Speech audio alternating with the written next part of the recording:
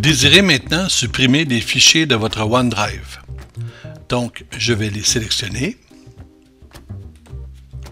et je clique sur Supprimer. Les fichiers ont été supprimés par erreur.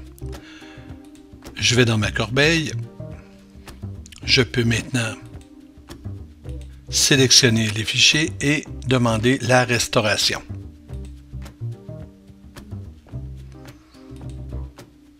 Et voilà, mes deux fichiers sont revenus.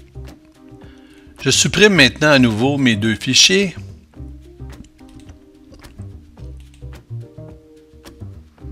Et je vais voir dans ma corbeille. Ils sont là. Je décide de vider la corbeille. Je pourrais penser que les fichiers sont supprimés à jamais, mais non. Nous avons une deuxième chance avec OneDrive. Nous allons maintenant dans la corbeille secondaire les fichiers s'y trouvent, je peux demander également la restauration.